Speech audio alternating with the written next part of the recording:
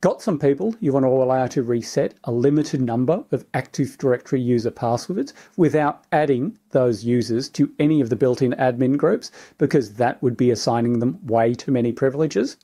Use the Delegation of Control wizard to create tightly scoped Active Directory privileges. Here, I'm going to use the wizard to allow members of the Accounting Ops group to be able to reset user passwords and force password change to accounts stored in the Accounting Users organizational unit. To do this, I right click on the Accounting Users OU and choose Delegate Control. On the Users or Groups page, I select Add and specify the security group I want to delegate the privileges to. In this case, it's the group Accounting Ops. On the Task to Delegate page, I select Reset User Passwords and Force Password Change at Next Logon. I complete the wizard, and from now on, members of the Accounting Ops group can reset the passwords of user accounts in the Accounting Users OU. Thanks for watching, and I'll see you in the next video.